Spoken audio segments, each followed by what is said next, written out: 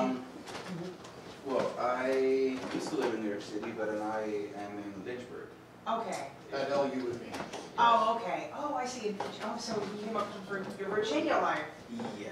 That was marvelous. Thank you for bringing Gio. That was-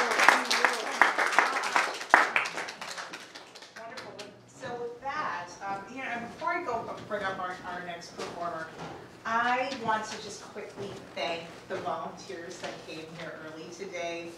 Misty, Jake, Molly, Shannon. Uh, I just thank you very much for coming and helping. And oh, Tina, Tina who did the food, Emerald who lifted every chair. Every chair you're sitting on, Emerald lifted. We'll help him take